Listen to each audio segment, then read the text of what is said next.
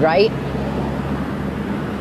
That's right, Tracy. Now that the cleanup is done, the ramp from northbound Delaware 896 onto northbound 95, which you see is now reopened. Let's take a look at our video. This is all related to an accident 7 o'clock last night. A tractor trailer overturned on that ramp, releasing an estimated 20 million beekeepers were brought in. They use a combination overturned on that ramp, releasing an estimated 20 million bees.